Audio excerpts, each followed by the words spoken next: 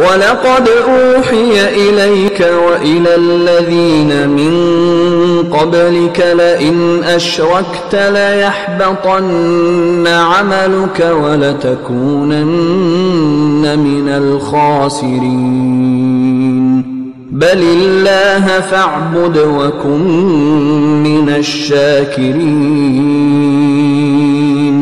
وما قدروا الله حق قدره والأرض جميعا قبضته يوم القيامة والسماوات مطويات بيمينه سبحانه وتعالى عما يشركون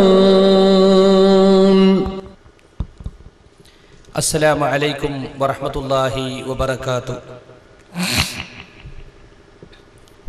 إن الحمد لله نحمده ونستعينه ونستغفره ونعوذ بالله من شرور أنفسنا ومن سيئات أعمالنا من يهده الله فلا مضل له ومن يضلل فلا هادي له. وأشهد أن لا إله إلا الله وحده لا شريك له. وأشهد أن محمدا عبده ورسوله. يا أيها الذين آمنوا اتقوا الله حق تقاته ولا تموتن إلا وأنتم مسلمون. يا أيها الناس اتقوا ربكم الذي خلقكم من نفس واحدة وخلق منها زوجها وبث منهما رجالا كثيرا ونساء. واتقوا الله الذي تساءلون به والأرحام. إن الله كان عليكم رقيبا. يا أيها الذين آمنوا اتقوا الله وقولوا قولا سديدا. يصلح لكم أعمالكم ويغفر لكم ذنوبكم. ومن يطع الله ورسوله فقد فاز فوزا عظيما. أما بعد فإن خير الحديث كتاب الله. وأصدق السنن سنن محمد صلى الله عليه وسلم. وشر الأمور محدثاتها وكل محدثة بدعة وكل بدعة ضلالة وكل ضلالة في النار. إن أريد إلا الإصلاح ما استطعت وما توفيقي إلا بالله عليه توكلت وإليه أنيب. رب اشرح لي صدري ويسر لي أمري واحلل عقدة من لساني يفقه قولي. أعوذ بالله من الشيطان الرجيم. ومن أضل ممن يدعو من دون الله من لا يستجيب له إلى يوم القيامة. وهم عن دعائهم غافلون.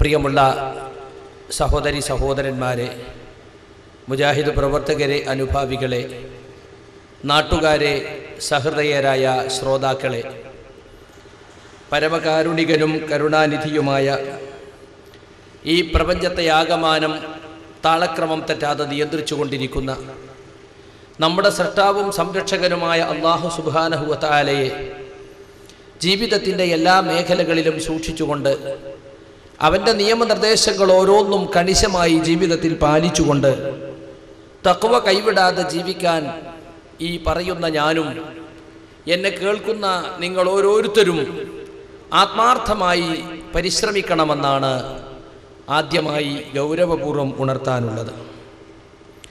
തൗഹീദ് അജയ്യം അജഞ്ചലം എന്ന ഒരു ബാനറിൽ ഈ കാക്കയങ്ങാട് പ്രദേശത്ത് ഇങ്ങനെ ഒരു പരിപാടി സംഘടിപ്പിക്കാനുണ്ടായ സാഹചര്യം നേരത്തെ സ്വാഗത പ്രസംഗത്തിൽ നിങ്ങൾ കേട്ട് കഴിഞ്ഞു.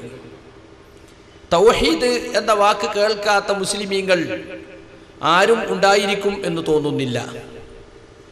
ഇസ്ലാമിലെ ഏകദൈവ വിശ്വാസം അല്ലെങ്കിൽ ഏകദൈവ സിദ്ധാന്തം അതിനെ സൂചിപ്പിക്കുവാനാണ് പൊതുവെ തൗഹീദ് എന്ന വാക്ക് മുസ്ലിമീങ്ങൾ ഉപയോഗിക്കാറുള്ളത്.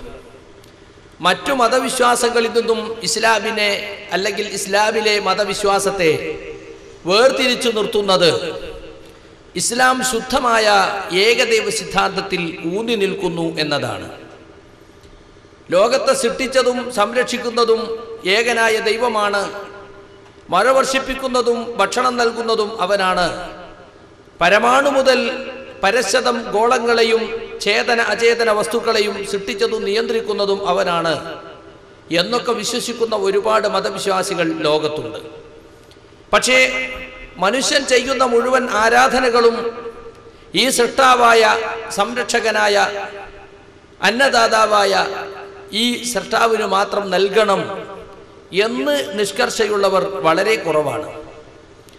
അള്ളാഹുവിലേക്ക് അഥവാ ലോകത്തിന്റെ സട്ടാവിലേക്ക് മനുഷ്യനെ അടുപ്പിക്കാൻ കെൽപ്പുള്ള മനുഷ്യരെ യോ മനുഷ്യന്റെ പ്രാർത്ഥനകൾ എത്തിക്കാൻ കെൽപ്പുള്ള ഇടയാളന്മാരെയും മധ്യസ്ഥന്മാരെയും വിളിച്ചു പ്രാർത്ഥിക്കുകയും അവർക്ക് അള്ളാഹുവിങ്കലുള്ള സ്വാധീനം കൊണ്ട് നമ്മുടെ കാര്യങ്ങൾ നേടിത്തരുമെന്നുമാണ് പല ആളുകളും വിശ്വസിക്കുന്നത്. അത്തരം മധ്യസ്ഥന്മാരെ ശുപാർശക്കാരായും നമ്മുടെ കാര്യസാധ്യത്തിന് നാം പറഞ്ഞാൽ നമുക്ക് വേണ്ടത് ചെയ്തു തരുന്ന ആളുകളായും ജനങ്ങൾ എക്കാലത്തും വിചാരിച്ചു പോന്നിട്ടുണ്ട്. ഇത് യഥാർത്ഥത്തിൽ ഇസ്ലാമിന്റെ തൗഹീദുമായി പൊരുത്തപ്പെടുമോ എന്നതാണ് ഇന്നത്തെ ചർച്ചാ വിഷയത്തിൽ പ്രധാനമായിട്ടുള്ളത്. എന്താണ് തൗഹീദ് എന്നതിന് പൊതുവേ മുസ്ലിമീങ്ങൾ പണ്ടൊക്കെ മദ്രസകളിൽ പഠിപ്പിച്ചിരുന്നത് അള്ളാഹു അവന്റെ ദാത്തിലും സിഫാത്തിലും അഫ്ആലിലും ഏകനാണ് എന്ന് വിശ്വസിക്കുക. അള്ളാഹുവിന്റെ സത്ത അവന്റെ ഗുണങ്ങൾ അഥവാ വിശേഷണങ്ങൾ അതുപോലെ അവന്റെ പ്രവൃത്തികൾ അതിൽ അവൻ ഏകനാണ്. അവന് യാതൊരു പങ്കുകാരുമില്ല. അവന്റെ സത്ത പോലൊരു സത്തയില്ല. അവന്റെ ഗുണങ്ങൾ പോലെ ഗുണങ്ങളുള്ള ഒരു സൃഷ്ടിയുമില്ല. അതുപോലെ തന്നെ അവന്റെ പ്രവർത്തനങ്ങൾ പോലെ പ്രവർത്തനമുള്ള ഒരാളുമില്ല. ഇതാണ് പൊതുവെ തൗഹീദിന് ആളുകൾ പറഞ്ഞു വരാറുള്ള ഒരു നിർവചനം. എന്നാൽ മനുഷ്യരുടെ ആരാധനയുമായി ബന്ധപ്പെട്ട തൗഹീദ് അതിനെ സംബന്ധിച്ച് പറയാറുള്ളത് മഹ്ബൂദിയത്തി ഫീഹി. ആരാധ്യനായിരിക്കുക എന്ന അവകാശം അത് അള്ളാഹുവിൽ മാത്രം പരിമിതപ്പെടുത്തുക. വഹുവ അല്ലാ ഇബാദത്തി റബ്ബിഹി അഹദ. റബ്ബിന് ചെയ്യുന്ന ഇബാദത്തിൽ ഒരാളെയും പങ്കു ചേർക്കാതിരിക്കുക. ഇതാണ് തൗഹീദുൽ ഉലൂഹിയ ആരാധനയിലുള്ള ഏകത്വം എന്നതുകൊണ്ട് ഉദ്ദേശിക്കുന്നത്. ഇതാണ് നമ്മുടെ ചർച്ചാ വിഷയത്തിൽ പ്രധാനമായിട്ടുള്ളത്. ഈ തൗഹീദിന്റെ നേർവിപരീതമാണ് ഷിർക്ക് അഥവാ പങ്കുചേർക്കൽ.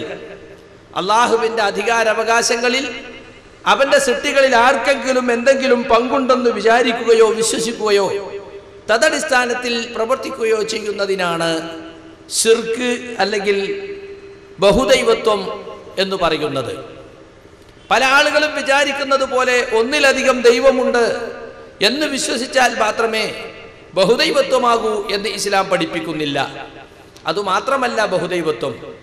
ദൈവത്തിന്റെ ഗുണങ്ങൾ ദൈവത്തിന്റെ പ്രവർത്തനങ്ങൾ അവന്റെ വിശേഷണങ്ങൾ അവ അല്ലാഹുവല്ലാത്ത ആർക്കെങ്കിലും വകവെച്ചു കൊടുത്താൽ ഉദാഹരണമായി ആരാധനകളൊക്കെയും പ്രാർത്ഥനകളൊക്കെയും അവന് മാത്രമാണെന്ന് ഖുർആൻ പഠിപ്പിക്കുന്നു. അള്ളാഹു അല്ലാത്ത ആരെയെങ്കിലും ആരാധിക്കുകയോ അള്ളാഹു അല്ലാത്ത ആരോടെങ്കിലും പ്രാർത്ഥിക്കുകയോ ചെയ്താൽ അയാൾ ശിർക്ക് വച്ചവനായി. അതുകൊണ്ടാണ് ഗൈരില്ലാ. അല്ലാഹുവല്ലാത്തവരിൽ ആരാധ്യത വകവെച്ചു കൊടുക്കലാണ് ഷിർക്ക് എന്ന് പല പണ്ഡിതന്മാർ നിർവചിക്കാൻ കാരണം. വിശുദ്ധ ഖുർആൻ നമുക്ക് ഇരുപത്തഞ്ചോളം നബിമാരുടെ ചരിത്രം പഠിപ്പിച്ചു തന്നിട്ടുണ്ട്. പേരു പറഞ്ഞ ഇരുപത്തഞ്ച് നബിമാരെ ഖുർആാനിൽ പരാമർശിക്കപ്പെട്ടിട്ടുള്ളൂവെങ്കിലും പേരു പറയാത്ത ഒരുപാട് അനേകായിരം പ്രവാചകന്മാർ ലോകത്തിന്റെ വിവിധ ഭാഗങ്ങളിൽ മനുഷ്യ ചരിത്രത്തിന്റെ വിവിധ ഘട്ടങ്ങളിൽ വന്നുപോയിട്ടുണ്ടെന്ന് ഖുർആൻ നമുക്ക് പറഞ്ഞു തരുന്നുണ്ട്. ആ നബിമാരുടെയൊക്കെ പ്രബോധന ചരിത്രത്തിന്റെ സാരാംശം അതിന്റെയൊക്കെ ഏക ആകത്തുക ഖുർആൻ നമുക്ക് ബോധ്യപ്പെടുത്തി തന്നിട്ടുണ്ട് ഈ ഇരുപത്തഞ്ച് നബിമാരുടെ ചരിത്രത്തിലൂടെ.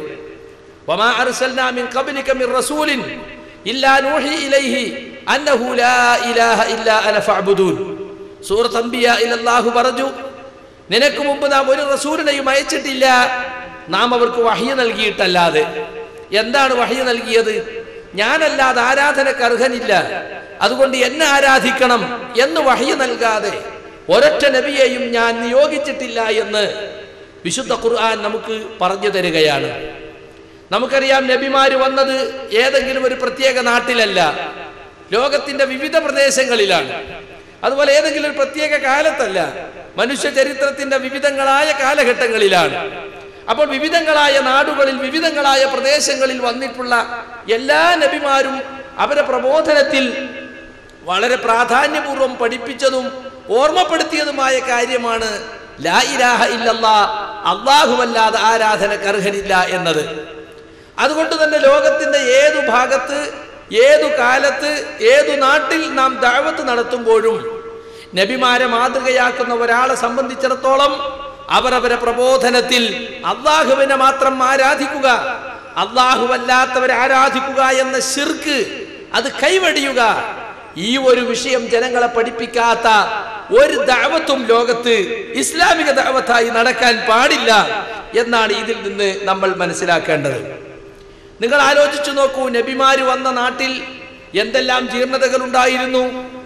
മനുഷ്യൻ സാംസ്കാരികമായി തരം താഴ്ന്ന ഒരുപാട് കാലഘട്ടങ്ങളിൽ ഒരുപാട് ജീർണതകൾക്ക് നടുവിൽ പ്രവാചകന്മാർ നിയോഗിക്കപ്പെട്ടു.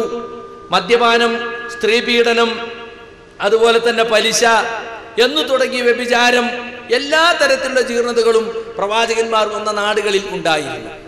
അതിനൊന്നും എതിരെ അവർ കണ്ണടച്ചിട്ടില്ല. അതിനെല്ലാം അവർ എതിർത്തിട്ടുണ്ട്.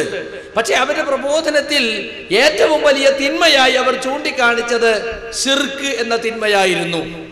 വിശ്വാസത്തിലും കർമ്മത്തിലും അള്ളാഹുവിന് പങ്കുകാരെ ചാർത്തുന്ന ഷിർക്ക് അതാണ് പ്രവാചകന്മാർ പഠിപ്പിച്ച പാപങ്ങളിൽ ഏറ്റവും വലിയ പാപം.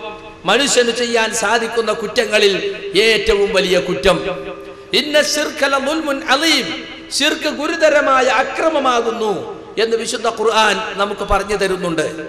ഏതൊരു സാധാരണക്കാരനും ചിന്തിച്ചാൽ അറിയാവുന്ന ഒരു സംഗതിയാണ്. ലോകത്തെ സൃഷ്ടിച്ച് ഈ ഭൂമിയിൽ നമുക്ക് വേണ്ടതെല്ലാം ഒരുക്കി തന്ന് നമുക്ക് മഴ വർഷിപ്പിച്ച് നമുക്ക് വെള്ളം തന്ന് നമുക്ക് വായു തന്ന് എല്ലാം എല്ലാം ഒരുക്കി തന്ന ആരാധനയാകുന്നു നിങ്ങൾ ആരാധിക്കേണ്ടത് എന്ന് പറഞ്ഞാൽ അത് തികച്ചും ന്യായമാണ്. എന്നാൽ അങ്ങനെ യാതൊന്നും ചെയ്തിട്ടില്ലാത്ത ഒന്നും സൃഷ്ടിച്ചിട്ടില്ലാത്ത ഒന്നിനെയും ഉടമപ്പെടുത്തുന്നില്ലാത്ത ഒരു സൃഷ്ടിക്കും ഒന്നും ചെയ്തു കൊടുക്കാൻ അഭൗതികമായ നിലയ്ക്ക് യാതൊരു കഴിവുമില്ലാത്ത സൃഷ്ടികളെയാണ് പല ആളുകളും ആരാധിക്കുന്നത്. സൃഷ്ടാവായ റബ്ബിന്റെ വെള്ളം കുടിച്ച് അവൻ നൽകിയ വായു ശ്വസിച്ച് അവൻ നൽകിയ ശരീരം കൊണ്ട് അവൻ നൽകിയ നിത്യ നിത്യേനയുള്ള ഒരുപാട് അനുഗ്രഹങ്ങൾ അനുഭവിച്ചുകൊണ്ട് മനുഷ്യൻ അള്ളാഹുവല്ലാത്തവൻ ആരാധിക്കുക എന്നത് തികഞ്ഞ നന്ദികേടാണ് എന്നാണ് ഖുർആൻ പഠിപ്പിക്കുന്നത്. അതുകൊണ്ടാണ് ശിർക്ക് ഗുരുതരമായ പാപവും അക്രമവുമായതെന്ന് നമുക്ക് മനസ്സിലാക്കാൻ സാധിക്കും. നമ്മൾ ജീവിതത്തിൽ എന്തെല്ലാം നന്മകളുണ്ടായിട്ടും കാര്യമില്ല. തൗഹീദ് ശരിയായില്ലെങ്കിൽ ശിർക്ക് വന്നുപോയാൽ പിന്നെ നമ്മുടെ പ്രവർത്തനങ്ങളൊക്കെ നിഷ്ഫലമാകും. നമ്മൾ നമസ്കരിക്കുന്നു നോമ്പെടുക്കുന്നു പാവങ്ങളെ സഹായിക്കുന്നു യത്തീമിനെ സഹായിക്കുന്നു സത്യം പറയുന്നു നീതിക്ക് വേണ്ടി വാദിക്കുന്നു. അങ്ങനെ ജീവിതത്തിൽ ഒരുപാട് കഷ്ടപ്പാടുകളും ത്യാഗങ്ങളും സഹിച്ച് നന്മകൾ നിലനിർത്തുവാനും തിന്മകൾ ഇല്ലാതാക്കുവാനും നമ്മൾ പരിശ്രമിച്ചുകൊണ്ടേ ഇരിക്കുന്നു. പക്ഷേ നാം അള്ളാഹുവല്ലാത്തവരാരാധിക്കുകയും ആരാധിക്കുകയും അല്ലാഹുവല്ലാത്തവരോട് പ്രാർത്ഥിക്കുകയും നമ്മുടെ നേർച്ച വഴിപാടുകൾ അല്ലാഹുവല്ലാത്തവർക്ക് അർപ്പിക്കുകയും ഒക്കെ ചെയ്താൽ നമ്മൾ ചെയ്ത നന്മകൾക്കൊന്നും പരലോകത്ത് യാതൊരു വിലയുമില്ല അത് വിശുദ്ധ ഖുർആൻ ഉ- എല്ലാ നബിമാരുടെയും സന്ദേശമായിട്ടാണ് എടുത്തു പറയുന്നത് വലഖദ് ഊഹിയ ഇലൈക വഇല الذين من قبلك ലൈൻ അശ്റക്ത ലയഹ്ബതന്ന അമലുക വലതകൂനന്ന മിനൽ ഖാസിരീൻ മുഹമ്മദ് നബിയെ നിങ്ങൾക്കും നിങ്ങളുടെ മുമ്പുള്ള നബിമാർക്കൊക്കെയും വഹി നൽകപ്പെട്ടിട്ടുണ്ട് നിങ്ങൾ ആരെങ്കിലും അള്ളാഹുവിൽ പങ്കുചേർത്താൽ അവന്റെ അധികാരാവകാശങ്ങളിൽ വല്ല നിലക്കും നിങ്ങൾ പങ്കുചേർത്താൽ നിങ്ങളുടെ അമലുകൾ പൊളിഞ്ഞു പോകും. നിങ്ങൾ നഷ്ടപ്പെട്ടവരെ കൂട്ടത്തിൽ പെട്ടുപോകുന്നതാണ് എന്ന് വിശുദ്ധ ഖുർആൻ സൂറത്ത് സുമറിലൂടെ നമുക്ക് ഓർമ്മപ്പെടുത്തി തന്നിട്ടുണ്ട്. അപ്പൊ നമ്മുടെ അമലുകൾ നിഷ്ഫലമാകുന്ന അങ്ങേയറ്റത്തെ വിഷമാകുന്നു സിർക്കെന്ന മഹാപാപം. അതുപോലെ തന്നെ നാളെ മരണാനന്തരം നമ്മളൊക്കെ ആഗ്രഹിക്കുന്നത് സ്വർഗത്തിൽ പ്രവേശിക്കപ്പെടണം നരകത്തിൽ നിന്ന് രക്ഷപ്പെടണം. എങ്കിൽ സിർക്കോട് കൂടി മരിച്ചാൽ അയാൾ ഒരിക്കലും തന്നെ സ്വർഗം കാണുകയില്ല. അയാൾക്ക് സ്വർഗം ഹറാമാണ്. മറിച്ച് അയാളുടെ സങ്കേതം അയാൾക്ക് ചെന്നു ചേരാനുള്ള സ്ഥാനം അത് നരകമായിരിക്കും എന്ന് വിശുദ്ധ ഖുർആൻ പഠിപ്പിക്കുന്നു. ഇന്നഹു ബില്ലാഹ് ഫഖദ് ഹറമല്ലാഹു അലൈഹിൽ ജന്ന വമഅവാഹു നാർ.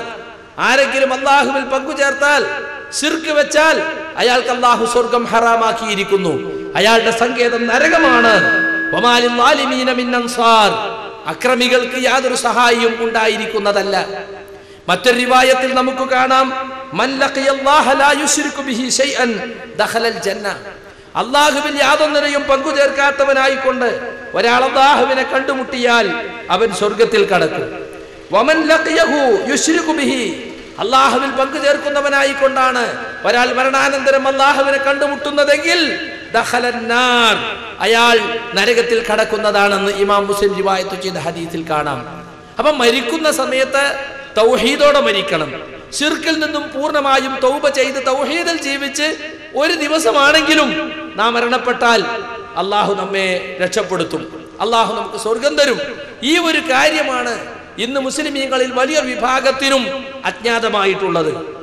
തൗഹീദ് ഇത്രമേൽ പ്രധാനപ്പെട്ടതും ഗൗരവമേറിയതുമാണ്. ഷിർക്ക് ഇത്രമാത്രം ഗുരുതരമായ തെറ്റാണ് എന്ന് അറിയാത്ത ഒരുപാട് മുസ്ലിമീങ്ങൾ ഇന്ന് നമ്മുടെ സമൂഹത്തിൽ തന്നെയുണ്ട്.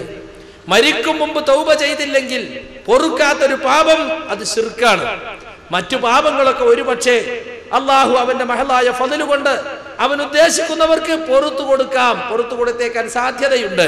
എന്നാൽ ഷിർക്ക് പൊറുക്കുകയില്ല. ഷിർക്കിലായിക്കൊണ്ട് തൗബ ചെയ്യാതെ നിങ്ങൾ മരിച്ചാൽ ഒരിക്കലും തന്നെ ഷിർക്ക് പൊറുക്കുകയില്ലെന്ന് ഖുർആാനത നമുക്ക് പറഞ്ഞു തരുന്നു.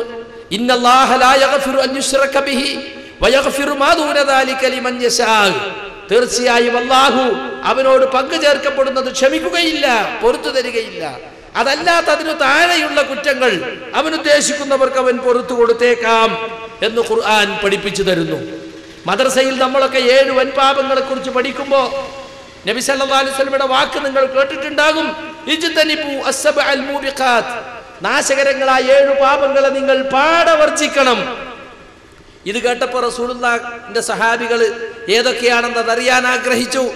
റസൂൽ അവർക്ക് പറഞ്ഞു കൊടുത്തു അശ്വർക്കുമില്ല ഒന്നാമതായി എണ്ണിയത് അള്ളാഹുവിൽ പങ്കു ചേർക്കുക കണ്ടോ? രണ്ടാമതാണ് സിഹർ മാരണം കൂടോത്രം ചെയ്യുക. അതുപോലെ തന്നെ മൂന്നാമതാണ് മനുഷ്യനെ കൊല്ലൽ പിന്നെ പലിശ തിന്നൽ യത്തീമിന്റെ ധനം അന്യായമായി തിന്നൽ യുദ്ധരംഗത്തു പിന്തിരിഞ്ഞോടൽ നല്ല സ്ത്രീകളെ കുറിച്ച് വ്യഭിചാരാരോപണം പറയൽ. ഈ ഏഴ് പാപങ്ങൾ എടുത്തു പറഞ്ഞു. ഇത്തരം പാപങ്ങൾ നമ്മളിൽ സംഭവിച്ചാൽ അതിന്റെ കുറ്റം പേറേണ്ടി വരുമെന്ന് മാത്രമല്ല ചെറിയ ചെറുതായ ദോഷങ്ങൾ ചെറുദോഷങ്ങൾ നമ്മളിൽ സംഭവിച്ചാൽ അത് പൊറുക്കാനുള്ള സാധ്യതയും ഇല്ലാതായി. അത് ഖുർആൻ തന്റെ സൂറത്തിൻ നിസായിൽ പറഞ്ഞു ഇൻ അൻഹു. നിങ്ങളോട് വിരോധിക്കപ്പെട്ട വൻ പാപങ്ങൾ നിങ്ങൾ പാടെ ഉപേക്ഷിക്കുന്ന പക്ഷം. നിങ്ങളുടെ പാപങ്ങളെ നാം വിട്ടുപുറത്ത് മാപ്പാക്കി തരുന്നതും മുതുഹലം കരീമ. നിങ്ങളെ മാന്യമായ പ്രവേശന സ്ഥാനത്ത് അഥവാ സ്വർഗത്തിൽ നിങ്ങളെ നാം പ്രവേശിപ്പിക്കുന്നതുമാണ് എന്ന് സൂറത്തു നിസ ഇല്ലാഹു ഓർമ്മപ്പെടുത്തി. അപ്പൊ സിർക്ക് പോലെയുള്ള ഈ പറഞ്ഞ വൻപാപങ്ങൾ ഈ ഏഴ് പാപങ്ങൾ മാത്രമല്ല ഇനിയും കുറെ വൻപാപങ്ങളുണ്ട് അത്തരം വൻപാപങ്ങൾ നമ്മുടെ ജീവിതത്തിൽ ഉണ്ടായാൽ അതിന്റെ പാപഫലം പേറേണ്ടി വരുന്നതോടൊപ്പം ചെറിയ പാപങ്ങൾ പൊറുക്കാനുള്ള സാധ്യതയും ഇല്ലാതായി തീരുന്നു എന്നതാണ് അതിലൂടെ ഖുർആൻ പഠിപ്പിക്കുന്നത്. അതുകൊണ്ട് സഹോദരന്മാരെ സഹോദരികളെ ഇത്തരം പാപങ്ങൾ വന്നുവശാകുന്നതിനെ നാം പേടിക്കേണ്ടതുണ്ട്. നമ്മളെ സംബന്ധിച്ചിടത്തോളം മറ്റെല്ലാ പാപങ്ങളെയും ഭയപ്പെടുന്നതിനേക്കാളേറെ ശിർക്ക് വന്നു പോകുന്നതിനെ ശിർക്ക് വന്നു പോകുന്നതിനെ നാം ഭയപ്പെടേണ്ടതുണ്ട്. പക്ഷേ പല ആളുകളും ഇന്ന് പ്രചരിപ്പിച്ചു കൊണ്ടിരിക്കുന്നത് നമുക്ക് മുസ്ലിമീങ്ങൾക്കിടയിൽ ഒരിക്കലും തന്നെ ശിർക്ക് വരാൻ സാധ്യതയില്ല എന്ന രീതിയിലാണ് പല ആളുകളും ഇപ്പോൾ മുസ്ലിമീങ്ങൾക്കിടയിൽ പ്രചാരണം നടത്തിക്കൊണ്ടിരിക്കുന്നത്. മുഹമ്മദ് എന്ന് രണ്ട് ഷഹാദത്ത് കലിവയും അംഗീകരിച്ച ഒരു മുസൽമാൻ. ആ മുസൽമാൻ വ്യഭിചാരം വന്നു പോകുന്നതിനെ പേടിക്കണം. പലിശ വന്നു പോകുന്നതിനെ പേടിക്കണം. അതുപോലെ പലതരത്തിലുള്ള തെറ്റുകളും വന്നു പോകുന്നതിനെ പേടിക്കണം. എന്നാൽ ശിർക്ക് വന്നു പോകുന്നതിനെ പേടിക്കേണ്ടതില്ല. അങ്ങനെ പേടിക്കണമെന്ന് റസൂൽ പഠിപ്പിച്ചിട്ടില്ല. എന്ന തരത്തിലുള്ള പ്രചാരണങ്ങൾ ഇന്ന് നമുക്ക് കേൾക്കുവാൻ സാധിക്കും. എന്നാൽ സുഹൃത്തുക്കളെ നമ്മൾ മനസ്സിലാക്കണം കാര്യം അങ്ങനെയല്ല. മറ്റെല്ലാ പാപങ്ങളെക്കാളേറെ നാം പേടിക്കേണ്ട ഗൗരവമേറിയ ഒരു കുറ്റമാണ്. യഥാർത്ഥത്തിൽ സിർക്കെന്ന് വിശുദ്ധ ഖുർആാനും തിരുസുന്നത്തും നമ്മെ പഠിപ്പിച്ചിട്ടുണ്ട്. ഈ കള്ളപ്രചരണം എന്തിനു വേണ്ടിയാണെന്ന് ചോദിച്ചാൽ ഇന്ന് മുസ്ലിമീങ്ങൾക്കിടയിൽ നിലനിൽക്കുന്ന ശിർക്ക് അതത്ര കാര്യമാക്കേണ്ടതില്ല. അങ്ങനെ ശിർക്കിലേക്ക് പോകുമെന്ന് അള്ളാഹു റസൂലോ പഠിപ്പിച്ചിട്ടില്ല എന്ന് ജനങ്ങളെ പഠിപ്പിക്കുകയാണ്. ഞാൻ നിങ്ങളോട് പറഞ്ഞു ഏഴു നാശകരങ്ങളായ പാപങ്ങളെ നിങ്ങൾ പാടെ ഉപേക്ഷിക്കണമെന്ന് പറഞ്ഞപ്പോ സഹാബത്ത് ചോദിച്ചു യാ റസൂലല്ലാഹുന്ന അള്ളാഹുവിന്റെ റസൂൽ അത് ഏതൊക്കെയാണെന്ന് പറഞ്ഞു തന്നാലും അവിടുന്ന് ഒന്നാമത് എണ്ണിയത് ശിർക്കുമില്ല അതിനെ നിങ്ങൾ പേടിക്കേണ്ടെന്നല്ല നിങ്ങൾ ഏറ്റവും കൂടുതൽ പേടിക്കേണ്ട അതിനെയാണെന്നാണ്. സൂറത്തു റൂമിൽ തന്നെ കാണാം മുപ്പത്തിയൊന്ന് മുപ്പത്തിരണ്ടാമത്തെ വചനങ്ങളിൽ മുനീബീന ഇലൈഹി വത്തഖൂഹു വഅഖീമുസ്സലാ വലാ മിനൽ മുശ്രിക്കീൻ നിങ്ങൾ അള്ളാഹുവിലേക്ക് ഖേദിച്ച് മടങ്ങുന്നവരായിക്കൊണ്ട് അവനെ സൂക്ഷിക്കുന്നവരായിക്കൊണ്ട് ജീവിക്കണം. നിങ്ങൾ നമസ്കാരം കൃത്യമായി നിലനിർത്തണം. ശിർക്ക് വെക്കുന്നവരിൽ നിങ്ങൾ പെട്ടുപോകരുത്. മിനല്ലദീന ഫറഖൂ ദീനഹും അവരവരെ മതത്തെ കണ്ടം തുണ്ടമാക്കിയവരാണ്. അങ്ങനെ അവർ വിവിധ പാർട്ടികളായി മാറിക്കഴിഞ്ഞിട്ടുണ്ട്. അങ്ങനെയുള്ള മുഷിരിക്കുകളിൽ നിങ്ങൾ ഉൾപ്പെട്ടു പോകരുത്. കണ്ടോ? അപ്പൊ മുഷിരിക്കുകളിൽ ഉൾപ്പെട്ടു പോകുന്നതിനെ സിർക്കൻ സംഭവിക്കുന്നതിനെ നിങ്ങൾ സൂക്ഷിക്കണമെന്നാണ് ഖുർആൻ പഠിപ്പിക്കുന്നത്. അതുപോലെ ഞാൻ നേരത്തെ പറഞ്ഞു റസൂലുള്ളയോട് അള്ളാഹു പറഞ്ഞല്ലോ നിങ്ങൾ ആരെങ്കിലും ശിർക്ക് വെച്ചാൽ നിങ്ങൾ അമൽ പൊളിഞ്ഞു പോകും. റസൂൽ ശിർക്ക് വെക്കോ എല്ലാ നിന്നും അള്ളാഹു റസൂലുള്ളാനെ കാത്തിട്ടുണ്ട്. മഅസൂമാണ് അവിടുന്ന്. പിന്നെ എന്താണ് ആ പറഞ്ഞത് കൊണ്ട് ഉദ്ദേശം? നബിയോട് മാത്രമുള്ള സംബോധനമാണെന്നൊരു അഭിപ്രായമുണ്ട്. ഖിതാബു ലഹു വൽ മുറാദു കണ്ടോ? ഇത് അഭിസംബോധനം നബിയോടാണെങ്കിലും മുറാദ് അതിന്റെ ഉദ്ദേശം നബിയുടെ ഉമ്മത്താണ്. ഇത് അന്നഹു ലാ യുശ്രിക് വലാ റസൂലുള്ളയിൽ നിന്ന് ശിർക്ക് സംഭവിക്കുകയില്ല അവിടുന്ന് ശിർക്ക് വെക്കുകയില്ല എന്ന് അള്ളാഹുവിനറിയാം. പിന്നെ എന്തിനാണ് മുഹമ്മദെ നീ ശിർക്ക് വെച്ച നിന്റെ അമൽ പൊളിഞ്ഞു പോകുന്നു പറഞ്ഞത്? അത് ഉമ്മത്തിനെ ഉദ്ദേശിച്ച് പറഞ്ഞതാണ്. അപ്പൊ ഉമ്മത്തിൽ ശിർക്ക് സംഭവിക്കാൻ സാധ്യതയുണ്ട്. ലുക്മാൻ അലിസ്ലാം തന്റെ മകന് നൽകിയ ഉപദേശം സുഹൃത്ത് ലുക്മാനിൽ ഒന്നാമത്തെ ഉപദേശം തന്നെ എന്താ യാ പുനയ്യ കുഞ്ഞുമോനെ ലാ തുശ്രിക്കുമില്ല നീ അള്ളാവിൽ ശിർക്ക് വെക്കല്ലേ? ഇന്ന ശിർക്കല ദുൽമുന്നലീം ശിർക്ക് ഗുരുതരമായ പാപമാകുന്നു എന്നാണ്. നമുക്കറിയാം യാക്കൂബ് നബി അലൈഹി സ്വലാത്തു വസ്സലാം മരിക്കാൻ നേരത്ത് തന്റെ മക്കളെ വിളിച്ച് വസിയത്ത് ചെയ്തത് ഖുർആൻ പഠിപ്പിക്കുന്നുണ്ട്. അം കുന്തും ശുഹദാ ഇദ് ഹളറ യാക്കൂബ് അൽ മൗത്ത്. യാക്കൂബ് നബിക്ക് മരണം ആസന്നമായ സന്ദർഭത്തിൽ നിങ്ങൾ അവിടെ ഹാജർ ഹാജരുണ്ടായിരുന്നോ. പിൽക്കാലത്ത് അദ്ദേഹത്തിന്റെ പിൻഗാമിത്വം അവകാശപ്പെട്ട യഹൂദികളോട് ചോദിക്കുകയാണ്. നിങ്ങൾ യാക്കൂബ് നബിന്റെ പിൻഗാമിക്കാര പിൻഗാമികളാണെന്നാണല്ലോ പറയുന്നത്. അദ്ദേഹം മരിക്കാൻ നേരത്ത് തന്റെ മക്കളെ വിളിച്ചിട്ട് പറഞ്ഞ ഒസിയത്ത് എന്താ? ഇത് കാലലി ബനീഹി മാ തഅബുദൂന മിൻ ബഅദി. തന്റെ മക്കളോട് ചോദിച്ചു മക്കളെ എനിക്കു ശേഷം നിങ്ങൾ ആരെയാണ് ആരാധിക്കുക? കാലു അവർ പറഞ്ഞു നഅബുദു ഇലാഹക വ ഇലാഹ ആബായിക ഇബ്രാഹിമ വ ഇസ്മാഈല വ ഇസ്ഹാഖ വാഹിദ. ഞങ്ങൾ നിങ്ങളുടെ ഇലാഹിനെ ആരാധിക്കും. നിങ്ങളെ പിതാക്കന്മാരായ ഇബ്രാഹിം ഇസ്മായിൽ ഇസ്ഹാഖ് ഇവരുടെയൊക്കെ ഇലാഹായ ഏക ഇലാഹിനാണ് ഞങ്ങൾ ആരാധന ചെയ്യുക. മുസ്ലിമൂൻ. ഞങ്ങൾ അവന് എല്ലാം സമർപ്പിച്ചവരായിരിക്കും. സൂറത്തുൽ ബക്കറയിലെ നൂറ്റി മുപ്പത്തി മൂന്നാമത്തെ വചനത്തിൽ നമുക്കിത് വായിക്കാം. അപ്പൊ നബിമാരും പുണ്യപുരുഷന്മാരും ഒക്കെ ചെറുക്ക് വരാതിരിക്കാൻ വേണ്ടി തങ്ങളുടെ മക്കളോട് ഉപദേശിച്ചിരുന്നു. ചിർക്ക് ഭയപ്പെടേണ്ടാത്ത കുറ്റമാണെങ്കിൽ മുസ്ലിമീങ്ങൾ ചിർക്കിനെ പേടിക്കേണ്ടതില്ല എന്നാണ് യഥാർത്ഥത്തിൽ ഇസ്ലാമിന്റെ കാഴ്ചപ്പാടെങ്കിൽ ഇങ്ങനെ വരാൻ വഴിയില്ലല്ലോ. എന്തിനധികം നബി സല്ലല്ലാഹു അലൈഹി വസല്ലമ തന്നെ നമ്മോട് പറഞ്ഞിട്ടുള്ളത് എന്താ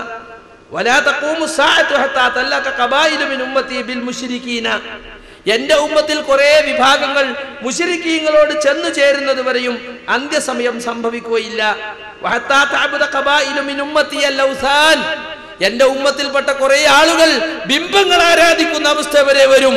അന്ത്യസമയത്തിന് മുമ്പ്. കണ്ടോ?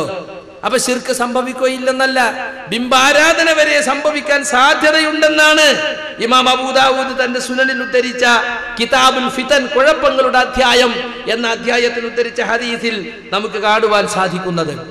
അതുപോലെ തന്നെ നബി സല്ലല്ലാഹു അലൈഹി വസല്ലമ പറഞ്ഞു ലതത്തബിഉന്ന സനന മൻ കാന ഖബലക്കും നിങ്ങളെ മുമ്പുള്ളവരുടെ ചീത്ത നടപടിക്രമങ്ങളെ നിങ്ങൾ പിന്തുടരുക തന്നെ ചെയ്യും.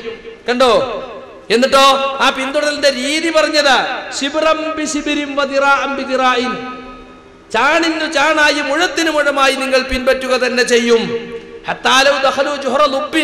അവർ ഒരു ഉടുമ്പിൻ മാളത്തിൽ കടന്നാൽ ലദഖൽതുമൂഹു. നിങ്ങളും അവരെ പിന്നാലെ ആ മാളത്തിൽ കടക്കാൻ ശ്രമിക്കും. കുൽന ഞങ്ങൾ ചോദിച്ചു യാ റസൂലല്ല അള്ളാഹുവിന്റെ തിരുദൂതരെ അൽ യഹൂദവൻ നസാറ. ഞങ്ങളെ മുമ്പുള്ളവരെന്നത് കൊണ്ട് ഉദ്ദേശിക്കുന്നത് ജൂത ക്രിസ്ത്യാനികളെയാണോ മുൻ സമുദായങ്ങൾ എന്നതുകൊണ്ട് അവിടുന്ന് ഉദ്ദേശിക്കുന്നത് കാലഫമൻ അല്ലാതെ മറ്റാരെയാണ്? എന്ന് പ്രവാചകൻ സല്ലല്ലാഹു അലൈഹി വസല്ലമ ചോദിച്ചു. എന്താണ് ജൂത ക്രിസ്ത്യാനികൾക്ക് സംഭവിച്ച തെറ്റ്? നമുക്ക് എല്ലാവർക്കും അറിയാം ഈസാ മസീഹിനെ അള്ളാഹുവിന്റെ പുത്രനായി വാഴിച്ചുകൊണ്ട് അദ്ദേഹത്തെ ആരാധിക്കാൻ തുടങ്ങി. പിതാവ് പുത്രൻ പരിശുദ്ധാത്മാവ് എന്നിങ്ങനെ ദൈവം മൂന്നാണെന്നും എന്നാൽ ഒന്നാണെന്നും പറഞ്ഞുകൊണ്ട് ഇന്നും ക്രിസ്തീയ സമൂഹം ഈസാ നബിയെ യേശുവിനെ ആരാധിക്കുന്നു. എന്താണ് യഹൂദികൾക്ക് പറ്റിയ തെറ്റ്? ഉസൈർ പ്രവാചകനെ ദൈവപുത്രനായി അവരോധിച്ചു. അദ്ദേഹത്തെ വിളിച്ചു പ്രാർത്ഥിക്കുകയും സങ്കടം പറയുകയും ചെയ്യുന്നു. വാസ്തവത്തിൽ എന്താണ് അവിടെ സംഭവിച്ചത്? പ്രവാചക സ്നേഹത്തിൽ അവർ അതിരുകവിഞ്ഞു പോയി എങ്ങനെയാണ് പ്രവാചകനെ സ്നേഹിക്കേണ്ടതെന്ന് അവർക്ക് അറിയാതായി പോയി ഈ ഒരവസ്ഥ നിങ്ങൾക്കും വരും. അപ്പൊ അവർ അവർക്ക് സംഭവിച്ച ശിർക്ക് നിങ്ങളിലും സംഭവിക്കുമെന്ന വ്യക്തമായ സൂചനയാണ് യഥാർത്ഥത്തിൽ അതുകൊണ്ടുണ്ടായി ആ പ്രവചനം കൊണ്ട് റസൂലുള്ള ഉദ്ദേശിക്കുന്നത്. അവിടുന്ന് ഒരിക്കൽ വളരെ വ്യക്തമായി തന്നെ പറഞ്ഞില്ലേ ലാ കമാ അത്രത്തിന്റെ സാറ ഈസബിന് മറിയം. നസാറാക്കൾ ക്രിസ്ത്യാനികൾ ഈസാ നബിയെ അമിതമായി വാഴ്ത്തി പറഞ്ഞതുപോലെ അതിരുവിട്ട് പ്രശംസിച്ചതുപോലെ നിങ്ങൾ എന്നെ പ്രശംസിക്കല്ല കേട്ടോ. ഇന്നമാ അന അബ്ദുൻ ഞാൻ അള്ളാഹുവിന്റെ അടിമ മാത്രമാണ്. ഫഖൂലു അബ്ദുല്ലാഹി വറസൂലുഹു അതുകൊണ്ട് അള്ളാഹുവിന്റെ അടിമയും അവന്റെ റസൂലും എന്ന് മാത്രമേ നിങ്ങൾ എന്നെ കുറിച്ച് പറയാവൂ എന്ന്. കണ്ടോ? പ്രവാചകന്മാരെ അവർക്ക് അർഹിക്കാത്ത സ്ഥാനങ്ങളിൽ അവരോധിച്ചുകൊണ്ട് അവർക്ക് അള്ളാഹുവിനേക്കാൾ വലിയ അള്ളാഹുവിനെ പോലുള്ള സ്ഥാനങ്ങൾ കൽപ്പിക്കുന്ന അവസ്ഥ. അവരിൽ ദിവ്യത്വമുണ്ടെന്ന വിചാരം അതാണ് യഥാർത്ഥത്തിൽ ജൂത ക്രിസ്ത്യാനികൾക്ക് സംഭവിച്ചത് എന്ന് വിശുദ്ധ ഖുർആാനും തിരുനബിയുടെ സുന്നത്തും നമുക്ക് പഠിപ്പിച്ചു തരുന്നുണ്ട്. പ്രവാചകൻ സല്ലാഹു അലഹി വസ്ല്ലം അവിടുത്തെ അന്ത്യനിമിഷങ്ങൾ കഴിച്ചു കൂട്ടിയ സന്ദർഭത്തിൽ ആവർത്തിച്ച് ആവർത്തിച്ച് പറഞ്ഞുകൊണ്ടിരുന്ന ഒരു വചനമുണ്ട്. ലാനത്തുല്ലാഹി അലൽ യഹൂദി വന്നസാറ നസാറ. ജൂത ക്രിസ്ത്യാനികളുടെ മേൽ അള്ളാഹുവിന്റെ ശാപമുണ്ടാകട്ടെ. എന്താ കാരണം? ഖുബൂറ മസാജിദ. അവർ അവരിലേക്ക് നിയോഗിക്കപ്പെട്ട പ്രവാചകന്മാരുടെ കബറിടങ്ങളെ ആരാധനാ സ്ഥലങ്ങളാക്കി മാറ്റി. എന്തിനാ ഇത് പറഞ്ഞത്? മരിക്കാൻ സമയത്ത് ശത്രുക്കളെ പ്രാഗി പറഞ്ഞ് ശപിച്ച് അതിനുവേണ്ടിയാണോ ഒരിക്കലും പ്രവാചകന്റെ ജോലിയല്ലാതെ. ശപിക്കാൻ പറയുന്നവരോട് ഞാൻ ശപിക്കാൻ നിയോഗിക്കപ്പെട്ടവനല്ല എന്ന് പറഞ്ഞ് ഒഴിഞ്ഞു മാറിയ ദേഹമാണ്. പിന്നെന്തിനാണ് അവസാന നിമിഷം ഇത് പറഞ്ഞത്? കേട്ടുകൊണ്ടിരിക്കുന്ന തന്റെ അനുയായികൾക്ക് മുന്നറിയിപ്പ് കൊടുക്കുകയായിരുന്നു. അവർ പ്രവർത്തിച്ചത് പോലുള്ളത് തന്റെ ഉമ്മത്ത് പ്രവർത്തിക്കുമെന്നതിനാൽ തന്റെ ഉമ്മത്തിന് മുന്നറിയിപ്പ് നൽകുകയായിരുന്നു അതുവഴി എന്ന് ആയിഷ അള്ളാഹു എന്നെ പറയുന്നു. അവരുടെ വിരിമാറിൽ തലചായ്ച്ചുകൊണ്ടാണല്ലോ പുണ്യ റസൂൽ അന്ത്യസമയം കഴിച്ചു കൂട്ടിയത് കണ്ടോ? അപ്പൊ എന്താണ്? ജൂത ക്രിസ്ത്യാനികൾ ഖബറാരാധകന്മാരായി മാറി. പ്രവാചകന്മാരെ കബറുകളെ കെട്ടിയുയർത്തി ആരാധനാ കേന്ദ്രങ്ങളാക്കി മാറ്റി. അതുപോലെ എന്റെ ഉമ്മത്തും ചെയ്യുമെന്നതിനാൽ ഉമ്മത്തിനെ താക്കീത് ചെയ്യുകയായിരുന്നു അതിലൂടെ എന്ന് ഹദീത്തിൽ കാണാൻ സാധിക്കും. അപ്പൊ സുഹൃത്തുക്കളെ ശിർക്ക് വരികയില്ലെന്നാണോ? അല്ല ശിർക്ക് വരും ശിർക്കിനെ പേടിക്കണം. ബഹുദൈവത്വത്തിലേക്ക് ഈ ഉമ്മത്ത് വഴുതി പോകുന്നതിനെ നിങ്ങൾ പേടിക്കണം എന്നാണ് പ്രവാചകൻ സല്ലല്ലാഹു അലൈഹി വസല്ലമ പഠിപ്പിച്ചിട്ടുള്ളത്. എന്നാൽ ഈ ഒരു വാദം സ്ഥാപിക്കാൻ ഒരു ഹദീസ് സഹീഹുൽ ബുഖാരി ഒരു ഹദീസ് ഇപ്പോൾ ചില ആളുകൾ ദുർവ്യാഖ്യാനം ചെയ്യാറുണ്ട്. അതിങ്ങനെയാണ് ഒരു ഹദീസിന്റെ ഒരു ഭാഗം. നിങ്ങൾ എനിക്ക് ശേഷം ശിർക്കിലകപ്പെടുമെന്ന് അള്ളാഹുവാടെ ഞാൻ ഭയപ്പെടുന്നില്ല.